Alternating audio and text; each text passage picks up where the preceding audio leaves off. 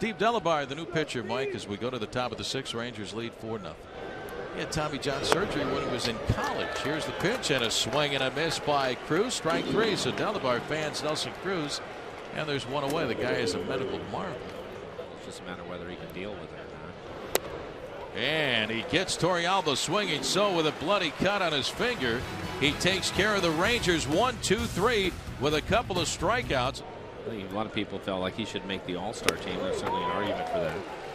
And Elvis Andrus with a swing and a miss, so nothing wrong with that right thumb of Steve Delabar.